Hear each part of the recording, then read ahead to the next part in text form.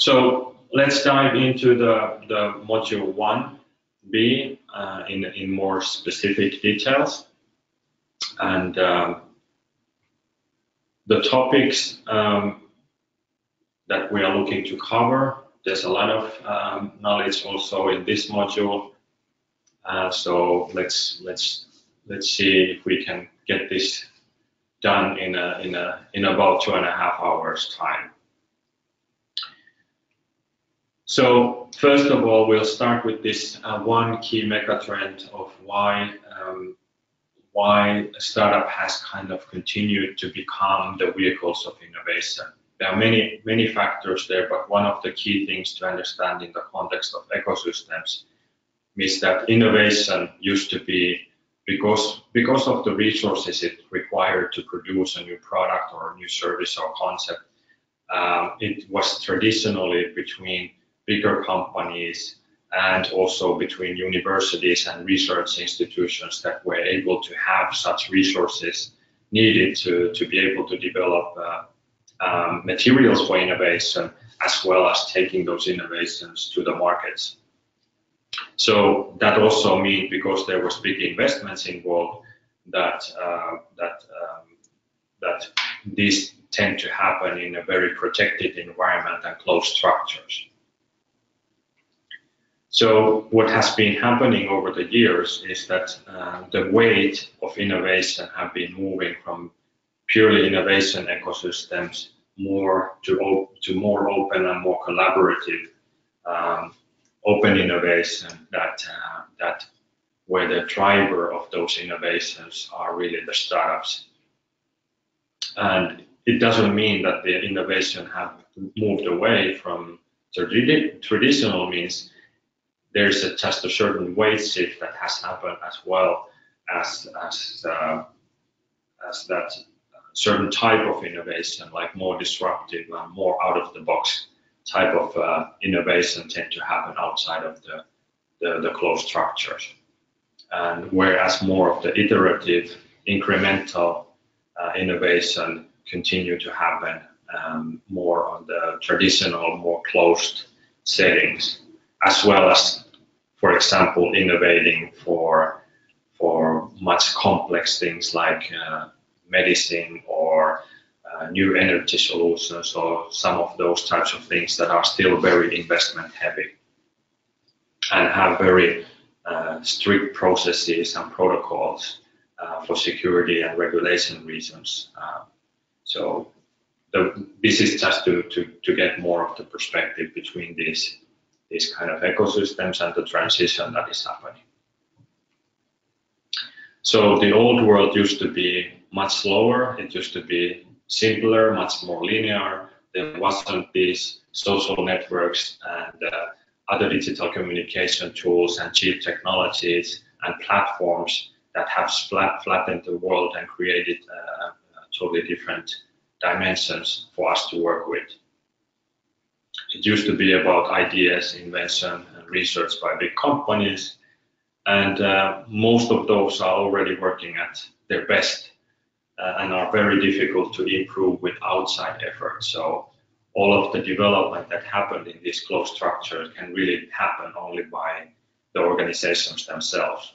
Whereas in the in the more open innovation environment and specifically with startup innovation, it's much easier to identify the new innovations, invest into them, and, um, and, and basically develop the, the, ingredients and surroundings and policies and regulations and things for them. So the new world is, is not linear anymore. It's very global. It's very networked. It's very digital. There's a lot of this cheap technology, free technology, platforms, um, uh, resources that can be used uh, based only on on um, subscription model, no need to invest, no need to buy, no need to own, um, and and models where you can get a hundred thousand worth of uh, server credit from Amazon to build a platform and your business. Um, so it's it's amazing resources that are made available these days. This is also means that the innovation is more open, is more uh, faster validating whether markets are accepting it, and um, and the whole um, whole environment is is much more free from anyone from anywhere with internet connection. Um, is, is basically having access to both knowledge and free tools, free software to start building the initial versions of their innovations to be validated in the market.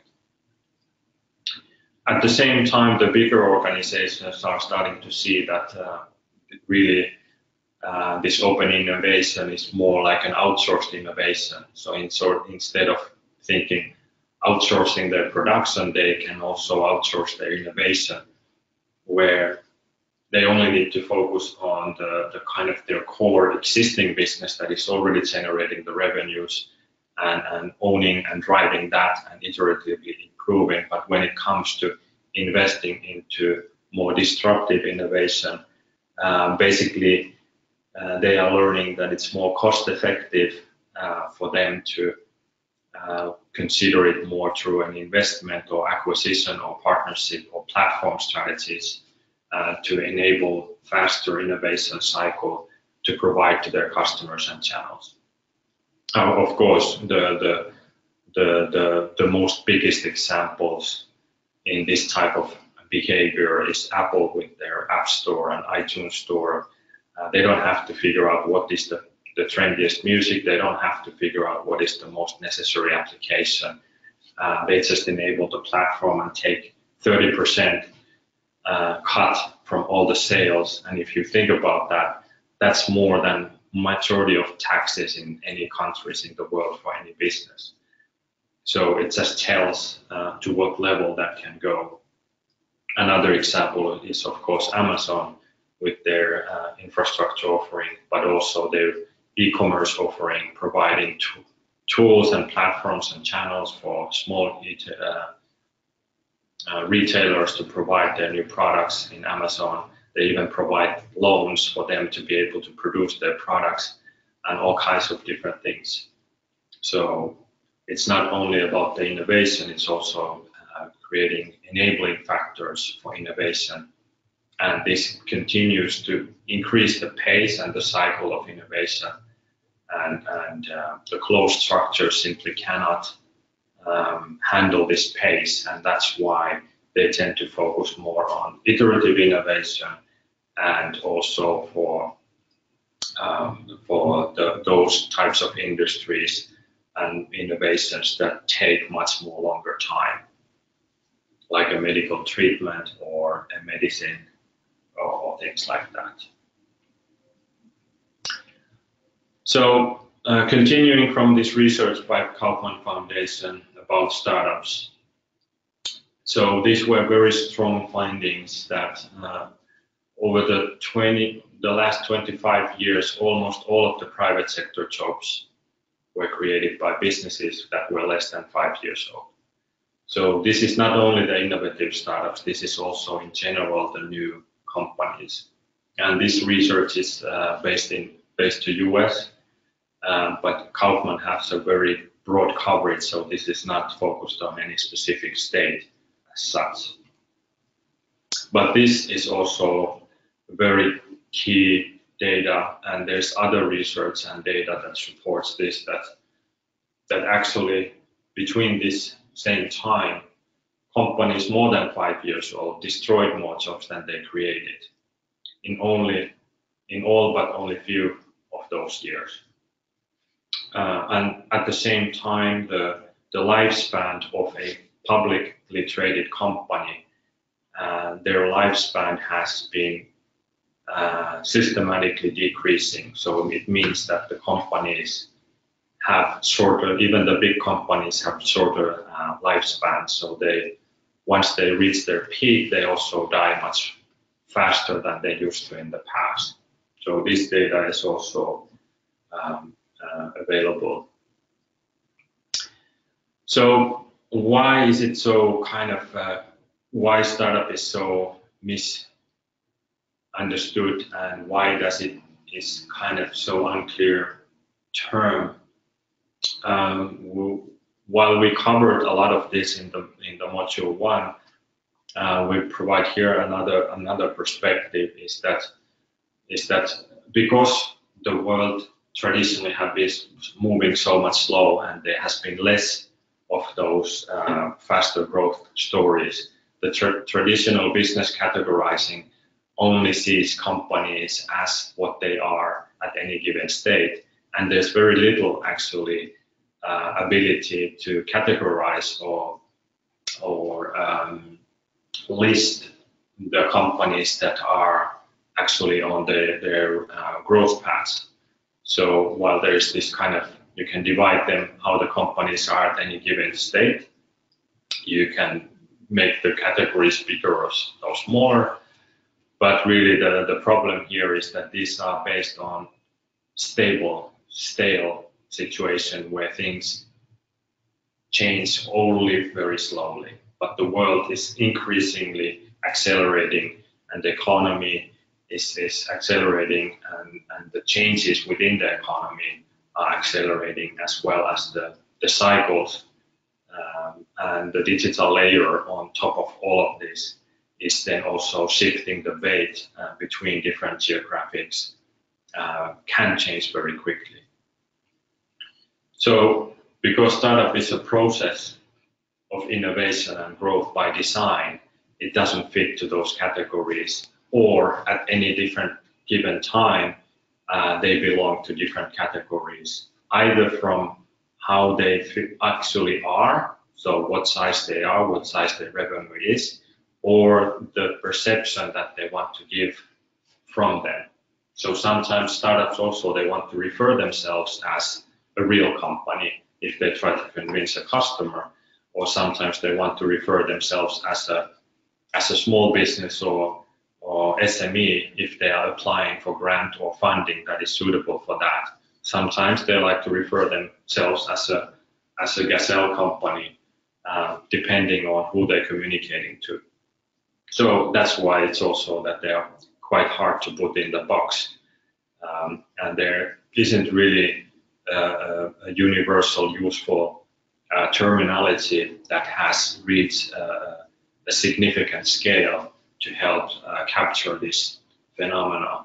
And that's one part where we want to focus and we invite everyone else to help focus on bringing this kind of uh, communication uh, for everyone's reach so that it makes it easier to identify both the startups and also the, the things um, related to startups, being that support services, being that funding instruments, being that individual resources or, and so forth. So startups are really about the innovative innovativeness and delivering innovations to the to, to new markets and uh, with the focus of growth. So here's really a perspective to kind of have some additional dimension to to categorize different types of companies. So any new company is not to be considered as a startup. Also, a small company should not be considered as a startup. At the same time, uh, the word scale up um, is, is often used to describe a startup in a later phase, but it should not be considered that it's only limited uh, for for a new startup to become a scale up because actually majority of them also fail but in addition, also a small business through structural change, through ownership change, uh, actually can become a scale up. Some of these examples would be, of course, uh, let's take a, a, subway chain. The, the subway sandwich is it's a, it was a small mom and pop store, uh, and then someone created it uh, into a franchise business. Or there's a movie even on the McDonald's chain with the founder and the whole story, uh, how a small business can actually become a scale-up business. But scale-up necess- so it means that scale-up also is not necessarily um, innovative as such, but it's still a scale-up.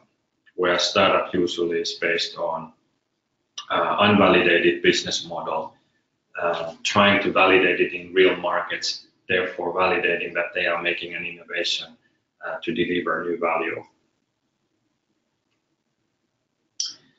So if we look at just the difference between an innovation process and a startup, so the innovation itself is about providing new value, generating product, service, or business model to a validated market.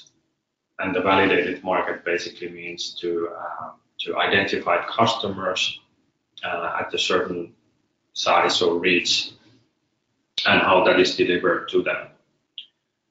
But at the same time, innovation doesn't necessarily have an owner.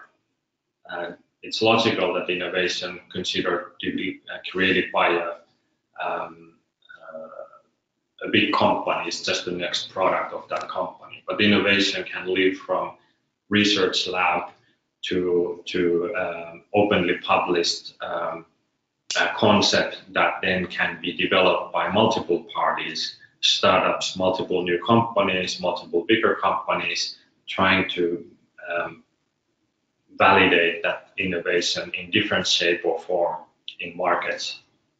So innovation itself can also live without any kind of ownership, and therefore it also, unfortunately, often means that potential innovation, so a lot of the research findings and uh, and also uh, even some uh, a lot of the ideas and concepts actually get lost because no one is keeping track of them and they really don't have an owner.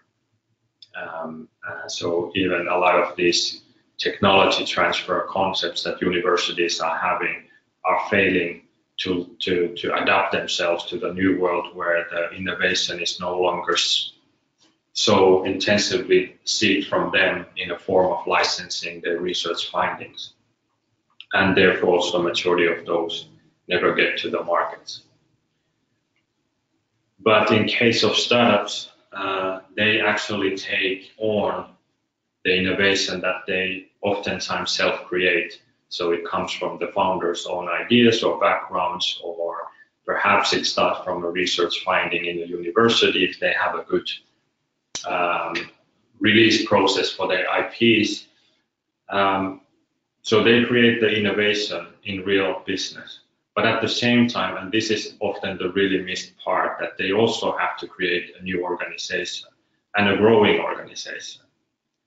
And while that is a positive thing, that there is true ownership behind that innovation in an investable format, uh, at the same time, the support function often support functions broadly uh, misses this uh, challenge that uh, the, the, startups are having, how to establish a founding team, how to how to uh, make commitment for, with that team and how to uh, build a team from five people to 100 people to 1,000 people. How does that process happen? How is it supported? Uh, how it can be made easier? So from the with the lens of the development phases, it really means that there is this more vis externally visible part building the service and product into a business. But then the other part is building the, the team into a, a organization. So this part usually gets much less attention, much less uh, knowledge and information is available um, because just to understand the innovation process from nothing to value generate, generating product or service is already a, a complexity on its own. But in addition, there actually isn't that much expertise available. How do you develop an organization from nothing? Um, these are types of things that are not really taught anywhere um, in a systematic manner. There are, you know, bits and pieces and places, and there's a lot of knowledge out there, but it's not available in a constructive and consumable way, let alone delivered in systematic way in volumes uh, in the education institutes, for example. So what does this mean? Um, it basically means that uh, while in all the investors, all the financiers, everyone knows that the team is the key, but at the same time, um, the support to build a team is is uh, really missing. A great team can make even an average idea or concept fly, where an average team can fail even a great idea. So it, it's really the essence of of uh, all the beginning for, for the innovation potential to even exist is the execution and the structure of the team and their capabilities and their collaboration effort uh, abilities um, and, and even simple things as the agreements that they create among themselves, how they divide their equity, and so forth.